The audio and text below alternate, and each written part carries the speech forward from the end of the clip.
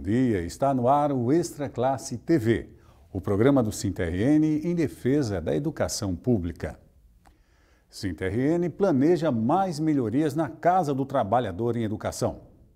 A Casa do Trabalhador em Educação, mantida pelo SINTRN, tem recebido elogios por parte dos filiados ao sindicato. Mas o que já é bom pode melhorar ainda mais. A direção do Cinterrene já planeja outras reformas para ampliar o conforto dos que fazem uso da casa de passagem. Entre elas, a ampliação do estacionamento, do refeitório e dos apartamentos destinados a casais. Primeiramente, a gente já está com, com orçamento, né? só falta começar a efetivar. É o sistema de segurança na casa com câmeras, para que o sócio, o hóspede, ele se sinta mais seguro dentro da casa, né? E outra situação é o nosso estacionamento, que a gente vai ampliar duas vagas a mais para o sócio. E outra situação também que a gente vem sentindo a necessidade, porque tem momentos que a nossa casa tem, chega a ter é, 120 pessoas, 110. Então estamos sentindo a necessidade de ampliar o refeitório. E outra coisa também que a gente vem, hoje nós temos, por exemplo, oito quartos de casais, né, oito apartamentos, suítes. E nós estamos sentindo também nessa necessidade de ampliar, porque a procura é muito grande. Além da Casa do Trabalhador em Educação, o Sinterrene tem feito investimentos na infraestrutura do sindicato em todo o estado. O coordenador geral, Rômulo Arnaud, fala agora sobre a importância desses investimentos e as consequências para a luta em defesa da educação pública. Bom dia, Rômulo. Bom dia, Leilton. Bom dia, telespectador. E um bom dia especial para os trabalhadores e trabalhadoras em educação. Então, vamos conversar hoje sobre esse assunto que não é tão comum na, na, na luta dos, dos, trabalhadores em educação, que é a própria estrutura de apoio a, a, a, essa luta. Em primeiro lugar, Romulo, qual é a importância de um sindicato que se pauta pela luta, que, é, que tem uma atividade de, de, de, rua, atividade de denúncia, atividade de protesto. Qual é a importância de ter esse tipo de, de, de suporte, como áreas de lazer, casas de passagem, etc.? Então, a, a, a atividade primeira, principal do, do, nosso sindicato é a organização, a mobilização da categoria para a luta, para a preservação dos seus direitos, preservação e ampliação dos seus direitos. No entanto, para ter, para que tenhamos isso né, com, com a firmeza, com o, a qualidade que precisamos, é necessário que a gente tenha toda uma, uma infraestrutura para poder desenvolver um bom trabalho. Né? Tenha, um, a estrutura física e tenha pessoas capacitadas para fazer isso. Então, o Cinti é, sempre investiu, mas nos últimos anos vem investindo mais ainda nessa, re, nessa reestruturação ou nessa estruturação das nossas sedes e isso a gente acha que é fundamental para que a gente tenha cada vez mais um sindicato forte, é, de luta, mas um sindicato estruturado do ponto de vista físico também. Isso vale para todas as regionais do sindicato, não é isso? Para todas as regionais. Gradativamente nós estamos é, conseguindo comprar né, espaços para fazer as nossas sedes.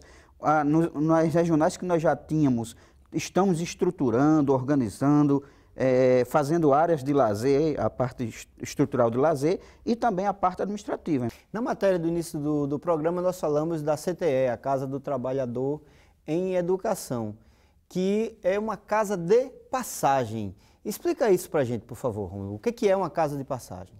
Então, assim, pensando em, em atender né, é, determinadas demandas da nossa categoria, e principalmente um, da, da, categoria de uma parte que mora no interior do nosso estado, que precisa se deslocar até a, a, a capital e não tem onde ficar. Então, pensando nisso, é que a gente tem já alguns anos, mas tem melhorado, a cada ano a gente melhora a nossa sede, é um espaço para que o professor, para que o funcionário, para que os dependentes diretos né, possa vir é, seja para resolver problemas de saúde relacionados à saúde, seja para resolver problemas da própria funcionalidade né, aqui, no, aqui na capital. Então, nós temos essa, essa, essa casa onde recebemos esses trabalhadores em educação e, e esses trabalhadores de educação pagam uma quantia, um valor simbólico para se hospedar nesta casa. Então, é, é, nós temos uma demanda grande, um número de pessoas vem né, diariamente a, e se hospeda na nossa casa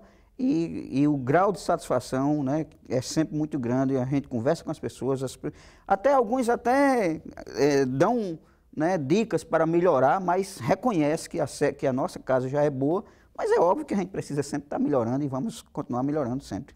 Romulo, dentro dessa, dessa lógica de investimentos em infraestrutura da direção do sindicato, a, a regional de Mossoró, da qual você faz parte, né, além de ser coordenador geral do Sint, não é isso? É, é, também está ampliando os seus investimentos é, na, na, na, área de infraestrutura local. É, o que, é que tem de novo lá na regional de Mossoró? Então, ano passado nós inauguramos é, a, a, o, a, melhoria, melhoramos, a, é, fizemos a ampliação da área de lazer, né, inauguramos um restaurante, ampliamos um, um, espaço que, inclusive, fazemos as assembleias da nossa categoria, com palco, com, onde também fazemos as festas comemorativas da nossa categoria. E, naquela oportunidade, nós dizíamos que nós íamos melhorar a, a parte administrativa.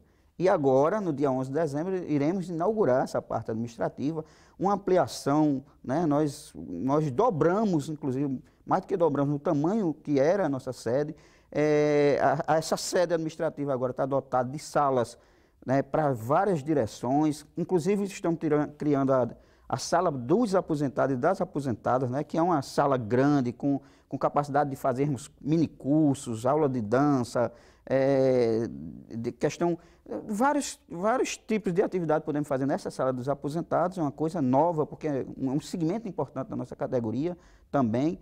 É, estamos climatizando, está toda climatizada, com, é, com estacionamento privativo. Então, está é, tá, tá muito bonita a nossa sede, grande, com a qualidade que a nossa categoria merece. E já estamos anunciando que a partir do próximo ano nós vamos fazer o nosso parque aquático, da, da, que é uma, assim, uma reivindicação muito forte da nossa categoria.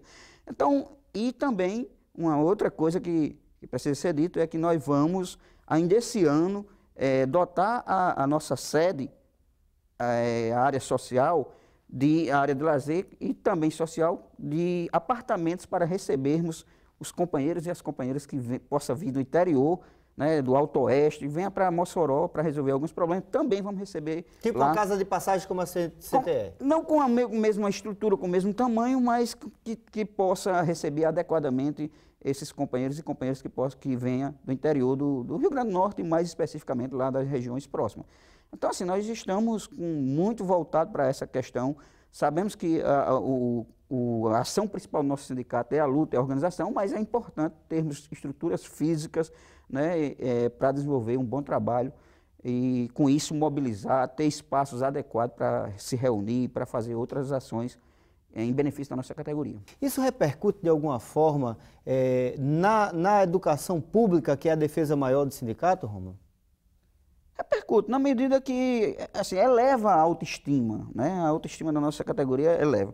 E hoje o, o trabalhador em educação, ele precisa melhorar o salário, precisa melhorar as condições de vida, mas ele precisa também de lazer, precisa né, ter, ter é, outras atividades que não seja só meramente a atividade, é, a relação de ensino-aprendizagem. Então, já que o Estado, o governo não oferece essas condições, nós, nós dirigentes sindicais, temos que nos preocupar com isso.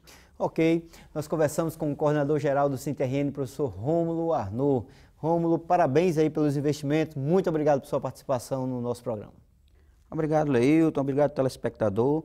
E quando formos inaugurarmos a nossa sede, eu espero que um maior número de pessoas, inclusive de outras regionais, possa estar presente, né? Vamos, vamos, vamos comemorar e vamos ter lazer, né? Que também nós não queremos só comida, queremos comida, diversão, arte, é isso que a nossa categoria merece. Nosso programa de hoje está chegando ao fim, mas você pode assistir a reprise e acompanhar diariamente as notícias da luta em defesa da educação é só acessar o nosso site e curtir a página do Facebook. Muito obrigado por sua audiência e até o próximo domingo, sempre às 9 horas da manhã. Até lá!